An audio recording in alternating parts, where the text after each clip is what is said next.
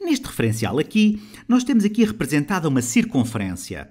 E temos aqui o centro dessa circunferência. E a primeira coisa que nós nos podemos perguntar é quais é que são as coordenadas do centro desta circunferência. E é fácil de ver que são menos 4 e menos 7. A abscissa é menos 4 e a ordenada é menos 7. Então nós já sabemos que o centro, o centro desta circunferência, está no ponto de coordenadas menos 4, menos 7.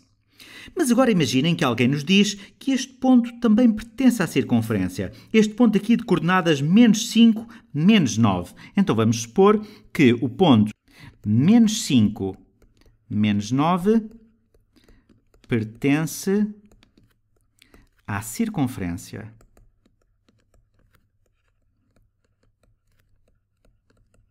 Ok, então, a pergunta que nós nos podemos fazer é: será que a partir destes dois pontos nós podemos determinar o raio desta circunferência? Reparem que o raio vai ser representado aqui por este segmento.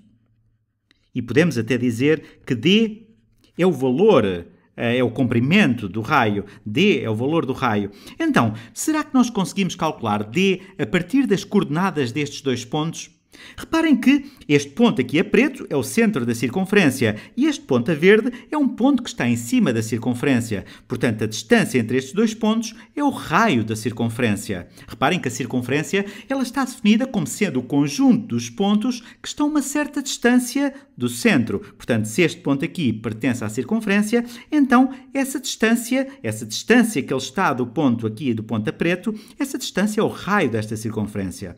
E nós podemos calcular este raio, este D, podemos calculá-lo a partir do Teorema de Pitágoras, porque é assim que nós calculamos o comprimento de um segmento. Reparem, nós podemos considerar aqui um pequeno triângulo retângulo. Vamos considerar aqui um lado que é paralelo aqui ao eixo dos x e depois consideramos aqui outro lado que é paralelo ao eixo dos y.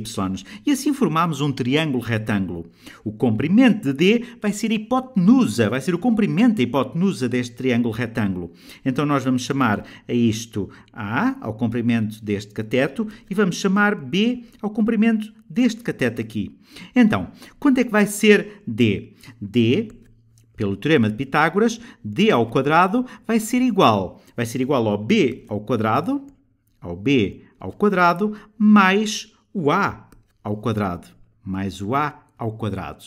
E agora, como é que nós podemos calcular o valor de a e de b? Bom, o a vai ser o a vai ser o módulo da diferença destas, destas ordenadas aqui, ou seja, de menos 7 menos menos 9.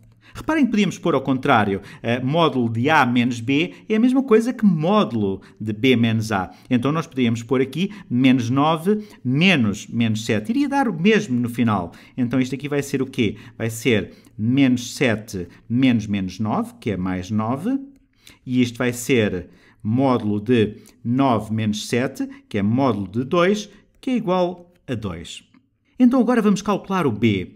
O b vai ser calculado da mesma forma. Reparem, consideramos aqui este valor, que é o menos 4, e depois subtrair menos 5. Ou seja, vai ficar menos 4 menos menos 5. Isto vai ser igual a módulo de menos 4 mais 5. E isto vai ser o módulo de 1. E o valor absoluto de 1 é 1. Então já temos o valor de A e o valor de B. Vamos substituir aqui. Isto vai ficar igual a... Bom, o b ao quadrado vai ser 1 ao quadrado, 1 ao quadrado, mais o a ao quadrado, ou seja, 2 ao quadrado. E isto vai ser igual, isto vai ser igual a 1 ao quadrado, que é 1, mais 2 ao quadrado, que é 4. Então, isto finalmente vai ficar igual a 5. d ao quadrado é igual a 5, o que quer dizer que Logo, o D vai ser igual à raiz de 5.